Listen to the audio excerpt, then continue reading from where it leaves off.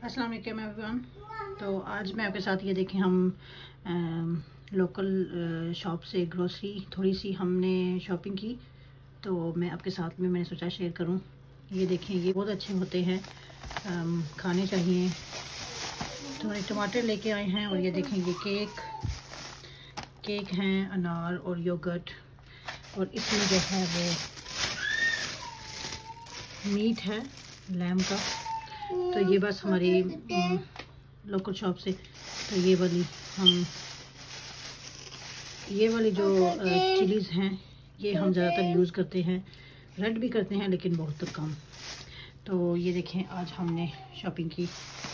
तो ये केक कभी कभी ब्रेकफास्ट में ये भी बंदा खा लेता है। इंग्लैंड में पीटर वहाँ बारिश हो रही है तो बस हमने ये ग्रोसरी की शॉपिंग की और वापस कर आ गए।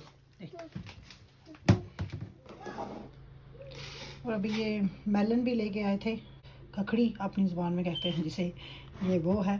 तो अभी ये भी लेके आए थे। तो आ, हमारे बच्चों को पसंद है। तो इसलिए हम जो है लाते हैं और ख़ुद भी खा खाते हैं। तो ऐसे काटें तो आपके बच्चों को जो है ना वो ऐसे पकड़ के आसानी होगी खाने में। तो ऐसे काटें इस खखड़ी को। देखें छोटे छोटे पीस करें। तो ऐसे बच्चे जो है ना हमारे बच्चे तो ऐसे पकड़ के खाना पसंद करते हैं। तो ऐसे अभी हम ये भी लेके आए थे लोकल शॉप से ही। तो फिर अभी हमने सोचा ये भी खाएँ। तो इसको ऐसे छोटे छोटे पीसों में काटें तो फिर अच्छा रहता है खाने में। ऐसे।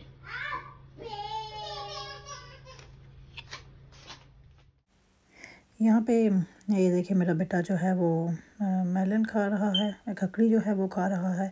तो बस और सारे बच्चे खा रहे हैं और साथ में ये जो है ना, बस खेलते रहते हैं।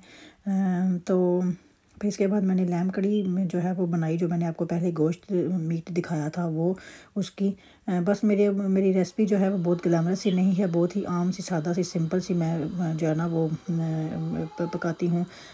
और जो है ना सब कुछ थोड़ा सा पानी डाल के ना तो सब कुछ उसमें मैं डाल देती हूँ प्याज भी सब कुछ मैं प्रेशर कुकर में ज़्यादातर बनाती हूँ।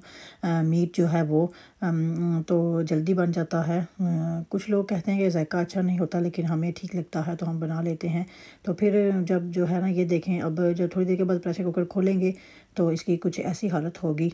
तो फिर आप जो है ना, पानी जो है ना, वो खुश्क कर लें और फिर इसको भून लें। ऐसा मैं करती हूँ, भून लेती हूँ और फिर उसके बाद बस ये अगर पानी डालना हो भुनने के बाद तो डाल लेते हैं, वरना अगर ऐसे ही जो पानी कम डालना हो, थोड़ा डालना हो तो फिर पानी ऐड करके तो थोड़ी देर के लिए बॉईल करते हैं, फिर वो रेडी हो जाता है। फिर इसके बाद मैंने बच्चों को खिलाया और हमने खुद भी खाया खाना। और फिर अभी जो है वो रात के ग्यारह बज चुके हैं, जब मैं ये वीडियो जो है अपलोड करूँगी थोड़ी देर में तो बच्चे जो है मेरे वो सो चुके हैं तो उम्मीद है कि आपको मेरी आज की वीडियो पसंद आई होगी। तो अगर अच्छी लगे तो प्लीज़ मेरे चैनल को सपोर्ट कीजिएगा, लाइक, शेयर और सब्सक्राइब कीजिएगा। और मुझे इनक्रेज कीजिएगा ताकि मैं आपको के लिए और भी वीडियो अपलोड कर सकूँ। तो अभी मुझे दीजिए इजाज़त। अल्लाह हाफिज़ एंड बाय